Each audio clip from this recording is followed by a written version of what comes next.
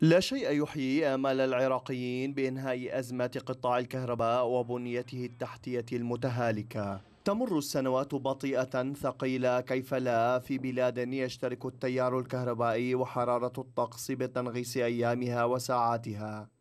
حيث ينقطع أو ينعدم لساعات طوال في أحياء بغداد والمحافظات في وقت تسوء أوضاع المرضى في المستشفيات. والذين يموتون تباعا بسبب انقطاع التيار الكهربائي عن الأجهزة الصحية التي يحتاجون إليها للصمود أمام فيروس كورونا.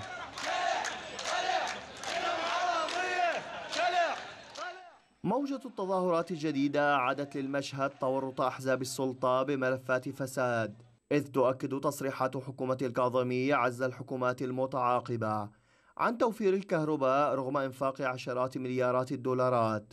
والتي كانت تكفي بنظرها لبناء أحدث الشبكات الكهربائية في العالم. محطات توليد الطاقة الكهربائية في العراق تعد حاليا بنظر الخبراء مثالا واضحا على فشل أحزاب السلطة بإدارة البلاد وإغراقها بالفساد. فرغم أن العراق بلد نفطي بامتياز إلا أن هذا لم يساهم في حل مشكلة الكهرباء.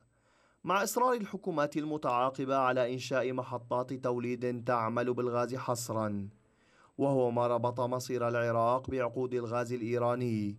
وركم الديون على خزينة الدولة لصالح نظام طهران الذي أضحى المتحكم الأوحد بكهرباء العراق.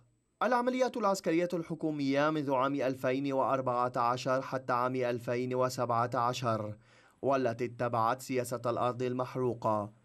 ساهمت هي الأخرى بتدمير البنية التحتية لقطاع الكهرباء.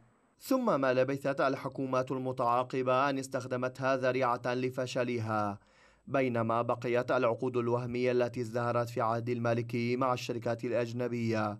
والرشاوى لتمرير صفقات محولات الكهرباء مطوية دون أن يقترب أحد منها. لتبقى مشكلة الكهرباء في العراق مستعصية بفعل فاعل لا تحرك الطبقة السياسية لأجلها شيئا. في وقت تتعمق معاناة العراقيين أكثر فأكثر ليخرجوا بالآلاف إلى الشوارع بشعارات تقول صراحة بإسقاط النظام السياسي الطائفي وأحزابه التي أغرقت البلاد بظلام دامس طيلة 17 عاما مضت.